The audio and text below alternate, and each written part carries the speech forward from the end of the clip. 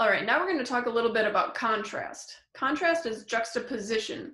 It's the use of opposing aspects to produce an intensified effect. You can juxtapose different elements in a single artifact, such as types of texture, warm and cool colors, or light and dark tones. Or you can juxtapose contrasting or conflicting ideas in a single artifact, such as war and peace. Every artifact must have contrast with some degree of visual differences between the elements, and they vary from high stark contrast to low subtle contrast. In this image of the student protest in Tiananmen Square, the contrast is between the figure and the tank. The juxtaposition of the two facing off against each other creates tension.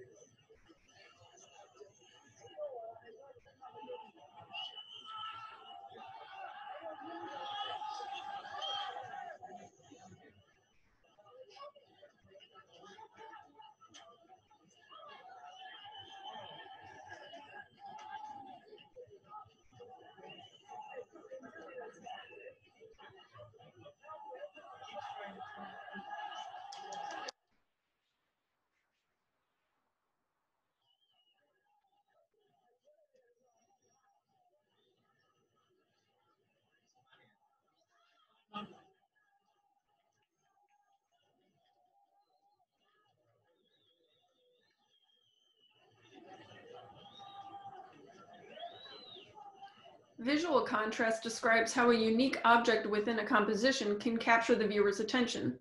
The focal point is created through visual contrast. It draws your eye to the subject matter, as in this photo where our eye is drawn more to the woman in the center than to the elephants that surround her. This is an installation of three of Ellsworth Kelly's paintings on display at the Venice Biennale in 2007. The display of his artwork creates a stark visual contrast on the white walls. Robert Irwin creates subtle contrast. His work consists of dim light and shadows. He spray paints on convex discs to create soft shapes and an airy, ephemeral mood. The artwork is mounted about a foot off the wall and then is softly lit from four different angles to create this kind of cloverleaf shadow. Anish Kapoor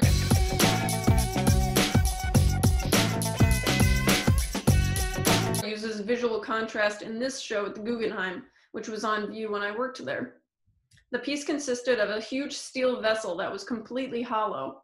The sculpture had an opening that was framed by a wall in another gallery of the museum, so that you could walk up to the wall and just look inside of the vessel, which appeared as a black square on the wall.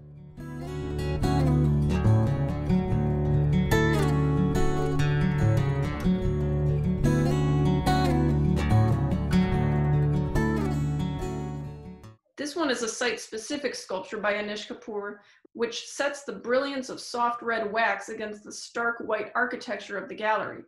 You can watch this video to learn more about his installation and thoughts about his use of color and contrast. This graphic designer relies on simple stark contrast, red, white, and black, which provide a dominant directional force of verticality with thin and small horizontal bands of type. Conceptual contrast refers to objects that hold ideas of conflicting subject matter.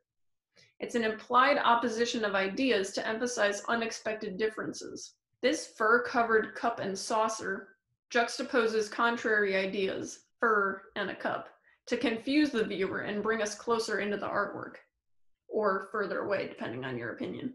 Meg Webster uses conceptual contrast in this work of art as well.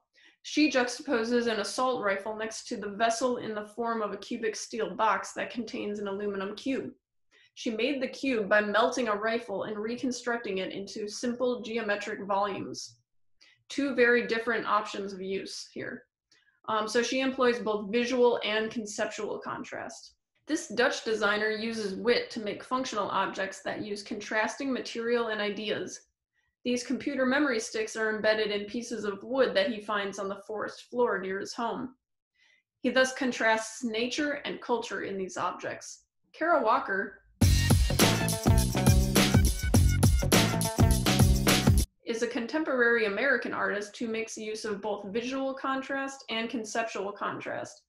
to explore historical aspects of race, gender, sex, and violence. Walker cuts images from black paper and glues them directly onto the walls to create silhouette murals. The black paper on white walls provides stark visual contrast and is conceptual in subject matter as well. All right, so that's all for this week. I hope you're all doing all right. Please feel free to reach out if you have any questions, as always. And in the meantime, let me get back to this beautiful San Francisco sunset.